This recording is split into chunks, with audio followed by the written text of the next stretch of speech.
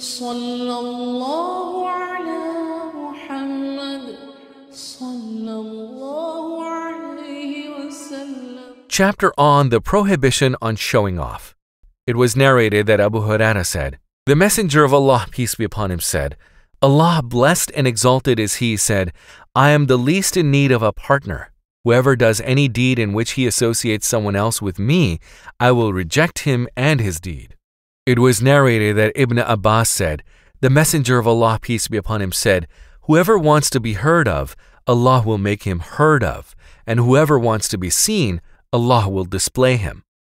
Jundab al Alaki said, The Messenger of Allah, peace be upon him, said, Whoever wants to be heard of, Allah will make him heard of, and whoever wants to be seen, Allah will display him.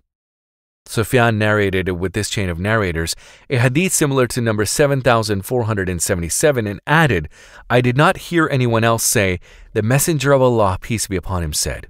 Sa'id said regarding the hadith of Sufyan, number 7478, I think he said, Ibn al Harith bin Abi Musa said, I heard Salama bin Kuhail say, I heard Jundab, and I did not hear anyone say, I heard the Messenger of Allah, peace be upon him, say. Someone else said, I heard the Messenger of Allah, peace be upon him, say a hadith like that of Ath-Thawri. Sufyan narrated, the truthful and trustworthy one.